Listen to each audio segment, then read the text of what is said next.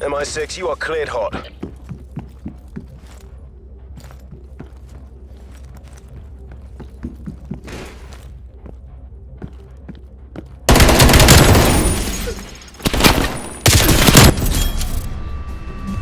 Five rounds one. You're crushing them.